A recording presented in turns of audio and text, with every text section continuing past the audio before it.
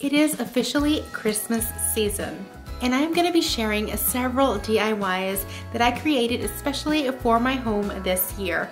And I'll be sharing how my Christmas tree turned out at the very end.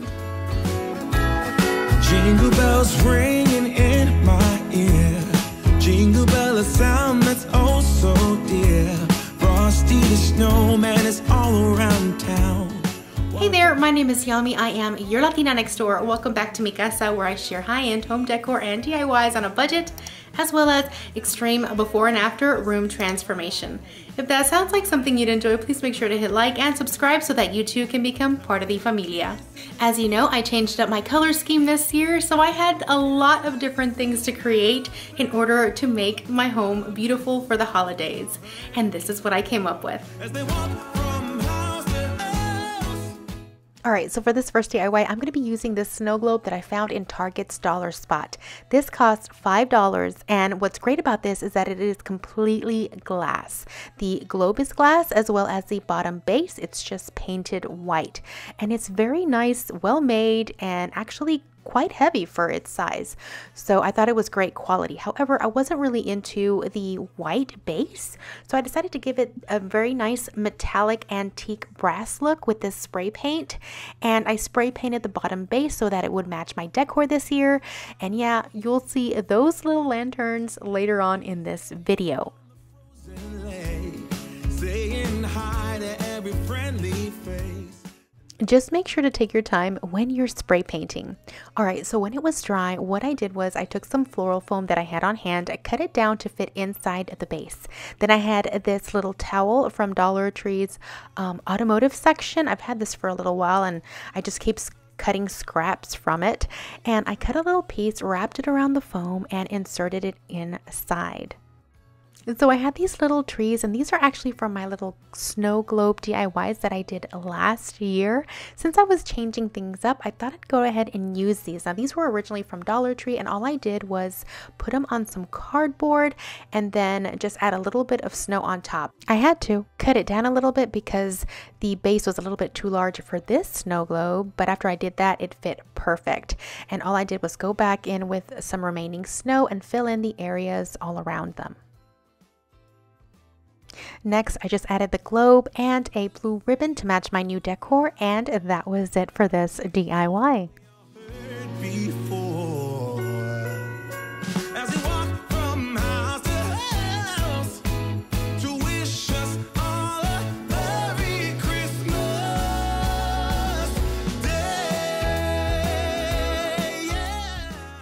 Now, since you guys already saw a sneak peek of these, I'm going to go ahead and do this next. Now, these little lanterns came from Dollar Tree. I bought them last year, but never used them. So I thought, why not try it this year? And of course, I gave it that same coat of spray paint of that antique brass. I left the little plastics in the windows so that I could protect the inside as I spray painted it. So once it was dry, I did remove that plastic and then what I did was I cut out one of the sections so that I can create a template for what I was going to use to cover them back up. I decided to use this vellum paper that I found at Hobby Lobby. It was 99 cents originally, but it was 50% off, so I got them for 50 cents. And the reason I wanted to use them were because they were a little bit see-through. Using that little plastic piece as my template, I made sure to cut pieces big enough for them and then I used it to trace it all along so that I can then cut them into the shape that I needed for the lanterns.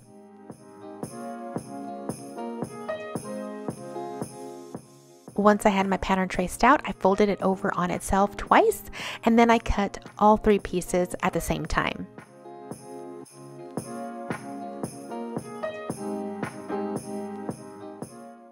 Next, in order to add a little bit of color, I decided to get some acrylic paint in two different colors of green and began to paint little wreaths on each of the little sides on top of the, you know, music sheets. And this is really easy. This is just two little strokes in the same direction all the way around. And then I added some little berries throughout.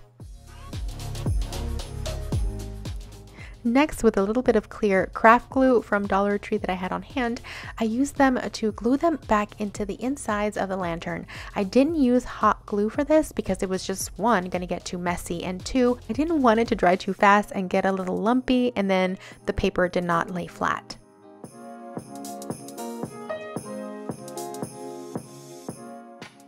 Finally, I took some sprigs from some old Dollar Tree ornaments that I had removed and then uh, some blue ribbon again to match my new decor and then I just hot glued it to the top section of the little lantern. And then of course I added a blue little bow as well. And I made sure to use a lighter on the ends of the ribbon so that it would not fray. And that was it for this DIY.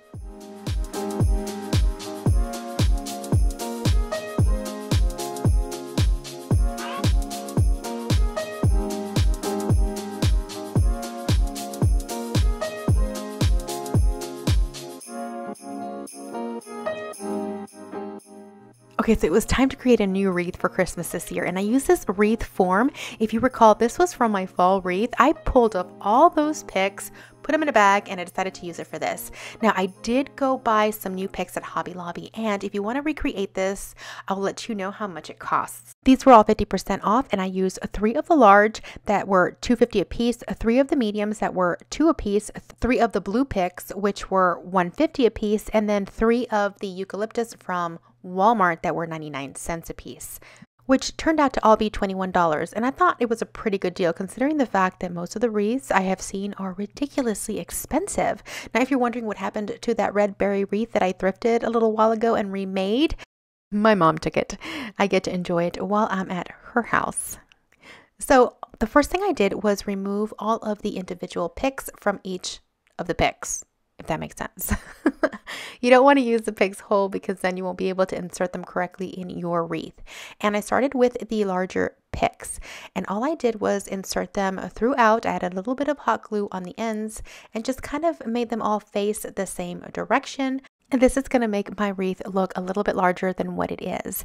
Now I spaced them out and then I came back in and added in areas that needed a little bit more. Next, I use the more realistic pine needles in front of those. Again, I pulled them off the picks, making them all individual. And what I did was I laid them out on the wreath first.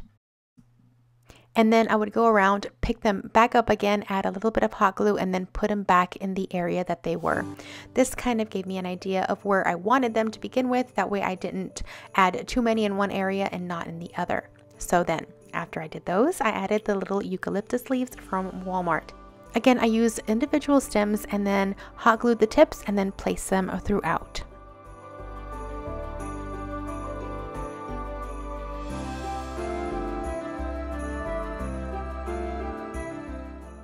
Then uh, taking the berry picks, I removed each individual piece and added them through the front of the wreath as well.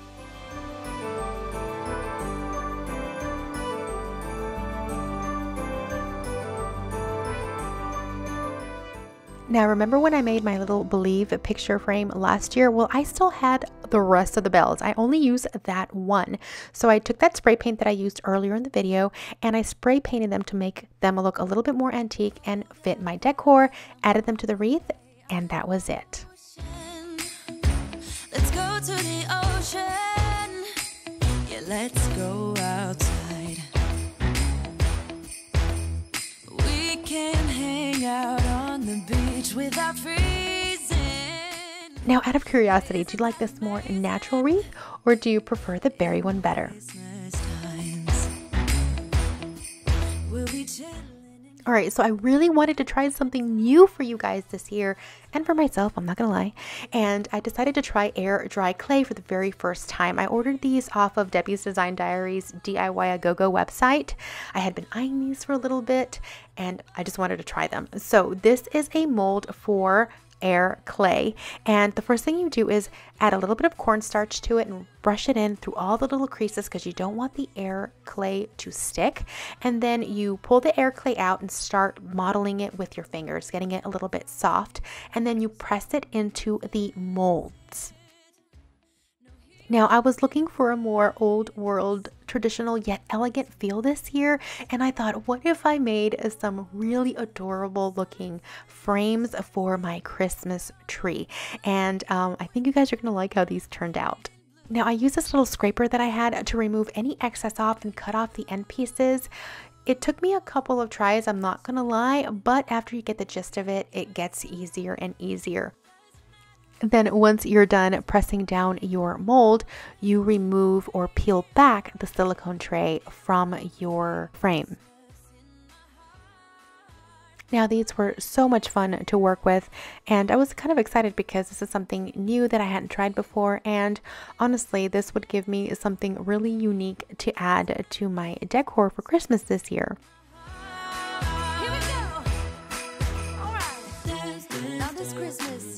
We're gonna dance.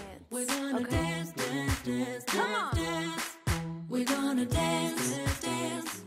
So next I went online and I started looking for vintage looking landscape pictures. Then you print them out and cut them in order to fit into those frames. Oh my gosh, this was so cute. I had so much fun making these. These were all different sizes and shapes and I just used simple scissors to cut them. Now before I did anything with the print, I needed to paint these first and I use Treasure Gold by Plaid. This is a highly pigmented acrylic paint that looks absolutely stunning when you paint it on. So I painted each of the little frames gold, making them look like antique gold frames. And then once they were dry, I used Mod Podge to add the little pictures or paintings onto the center of the frame. Now, the center of the frame isn't completely flat. It does kind of have like a little, I guess, higher up bump in the center and it goes down on the corners. And so it will wrinkle a little bit if you try this, but I thought it just added to the antique little look that I was going for anyways. After those dried, the only thing left to do was add little ribbons to the backs in order to hang them on the Christmas tree. And these are some of the most adorable little ornaments I think I've ever made. Christmas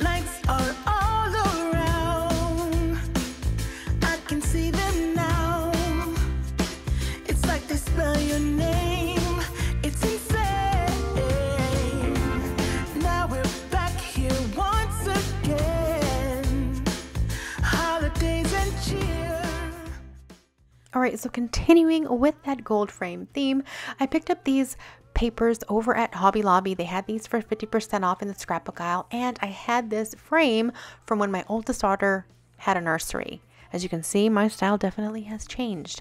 And I had originally painted the frame white, and now I'm painting it gold. And I'm using that same paint that I showed you from those ornaments in order to bring out those beautiful details on that frame. I am probably certain, I'm pretty certain that that frame probably was gold or something before and then I painted it white, not liking it, and now I'm back to that. Goes to show you a few years time changes your tastes. But I took my time and I gave this about three coats just to make sure that everything looked great. Once that was drying, I used the previous print that was in there in order to cut out some of the new scrapbook to fit into the frame. And then I found these vintage looking printables on Pinterest. I'll put the link below if you guys want to check these out. They were free. I downloaded them and then I actually reduce them in size so I can put them in the center of the frame. That way I can still see a little bit from the green around it. I use these little tabs that are just little sticky risers so that it wouldn't lie flat on the plaid. And that was it. Now let me know if I should use the berries for the print or the pine cones.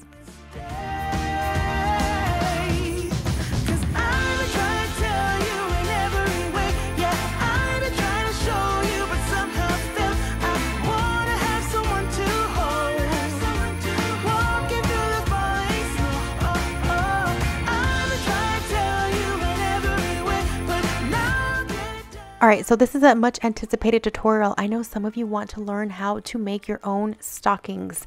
And of course, one benefit of this is, is that you can create any stocking in any pattern, color palette that you wish, which is why I'm doing it because I can't find any stockings that look like this.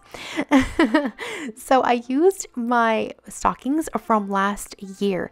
And as I'm cutting this fabric, this fabric is actually doubled on itself. And I'm making sure that the pattern in the front matches the pattern in the back. So if there's a green stripe in the front, there's also a green stripe in the back when I sew it. So I can at least have nice little seams all around. Now, after I cut them out, I took my rotary blade to cut out the pattern a little bit tighter around the stockings, also giving me that seam allowance that I need. Now this little thing is one of the best things to have when you're cutting fabric, especially when you have little curves just like this. Now, I wanted these stockings to have that furry top part of the stocking, and my husband actually picked this fabric when we were together in Hobby Lobby. It has like a faux leather on one side and then the fluffiness on the other. I didn't need that much of this, and I think I honestly got like what was remaining on the bolt. I cut them down to the desired length that I wanted them, and then I placed them on top of each of the stockings, and then, of course, cut them down to size. Now, when it comes to creating multiple things like this, it is always to have everything pre-cut first, and then you can start sewing everything together. Now, this step you don't have to follow, but I am doing it because this tartan fabric is very flimsy and I didn't kind of want my you know, stockings to hang with no shape at all whatsoever. So I had this batting and it's actually bonded batting it's just what I had on hand, so I decided to go ahead and use it. And what I did was I cut one piece per stocking. You could very well double this up, but it's not really necessary. I just found that, you know, I kind of want to see the form and shape of it.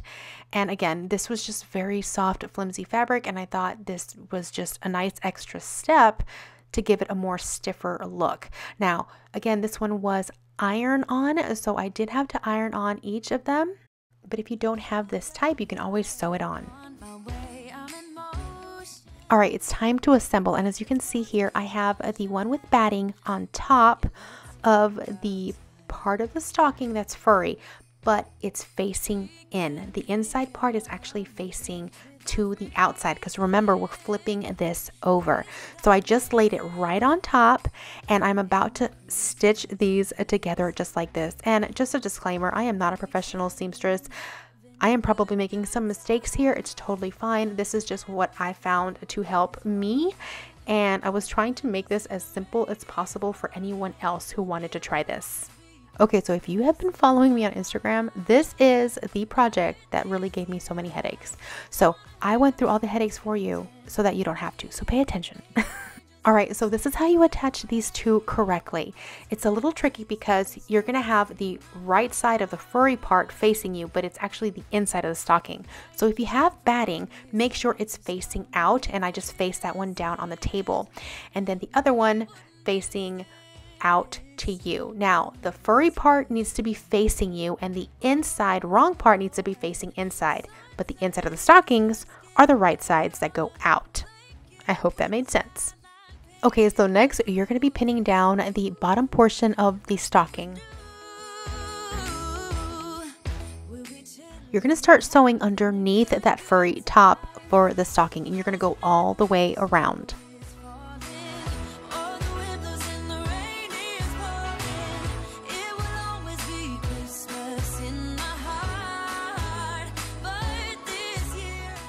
All right, the reason you stop just underneath the furry part is if if I would have taken that seam all the way up, you would flip over the stocking and then when you flipped the furry part back over onto itself, you would see this part on the outside and you don't want that. So in order to have it look the right way, you're to have to flip that stocking over right side out, just like this, but then you're to have to flip out those seams at the top and then sew them down this way. Now once those are sewn together, this is a good time to make sure to trim both of those ends. That way they are both the same lengths all the way around. Now the good thing about this kind of fabric is that you don't need to do a seam at the very end because it doesn't fray. And if you do cut some pieces off the end of it, you can go back and sew those little ends together so that they don't come apart. Finally, the last thing you want to do is remove any excess seam allowance that you may have. You want to get it as tight as possible so that when you flip it over, you get those nice crisp edges on your stocking on the exterior. Flip your stocking right side out and cut any excess fabric on the top furry part of your stocking. The last thing you need to do is add a little hook so that you can hang it. And all I did was take some regular ribbon. I put it in the center of the back seam, pinned it down, and then sewed it right on. And that is how you create stockings with a nice furry top.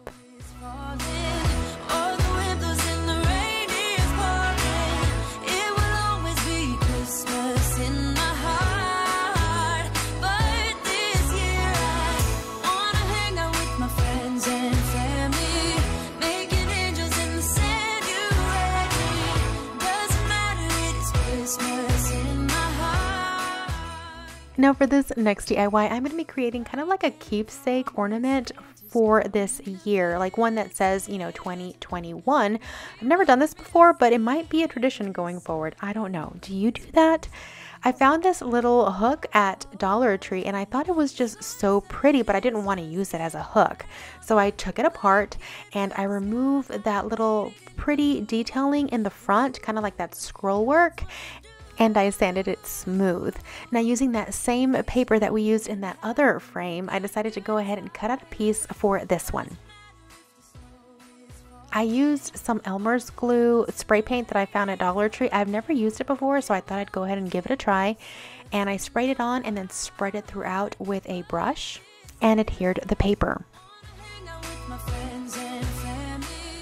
Next, using that beautiful gold paint from earlier, I decided to paint the entire scroll work. Once it was dry, I adhered it back onto the little plaque with some craft glue. And then I made sure to paint the borders with the gold as well. Next, I had these little letterboard numbers that I've had forever, and honestly, I have never used them, so I decided why not. I removed the little tabs on the back so that they can lie flat. I painted them and then glued them on to the little ornament, and I think it just turned out so darling.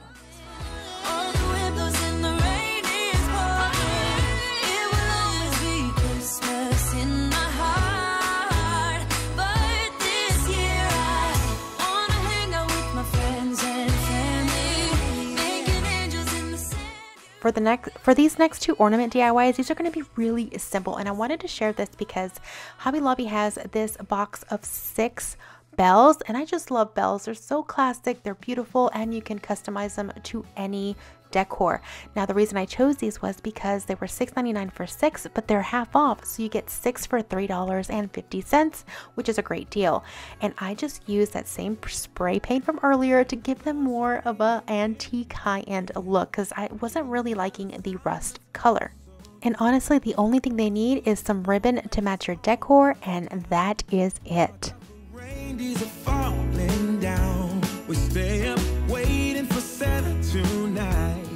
Down the chimney at the speed of light while we're dancing around the Christmas tree, hugging and kissing just you and me. And finally, I had these blush ornaments that I had on hand. These are glass ornaments actually.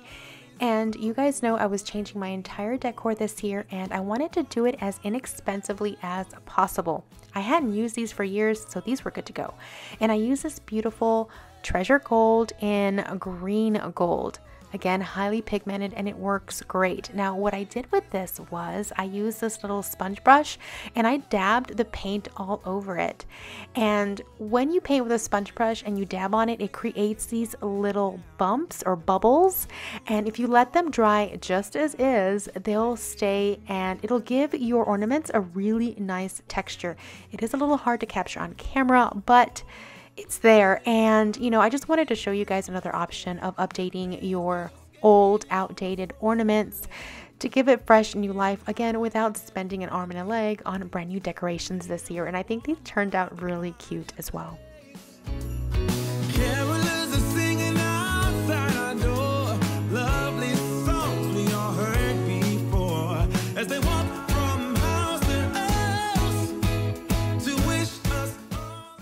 Finally, I wanted to share how my Christmas tree turned out with all of my DIY ornaments from not just this video, but my previous videos that I had created. I think it turned out beautiful. It's very simple, but I do like that classic old world yet very traditional classic look. I don't even know what this is, but I'm loving it. Tell me what you think.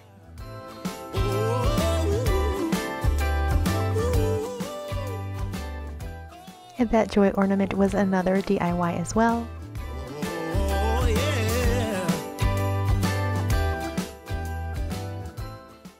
I created that beautiful round wreath ornament in my Christmas in July video where I shared my new color scheme. I'll link to that video if you haven't seen it.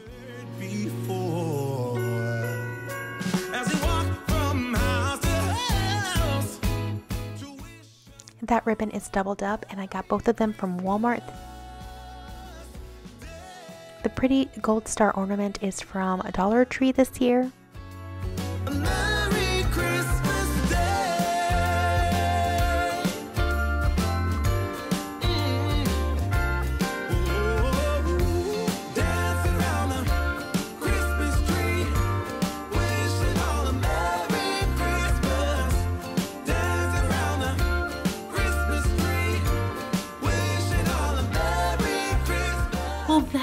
For today's video. I hope you enjoyed it. If you did, please make sure to give this video a like.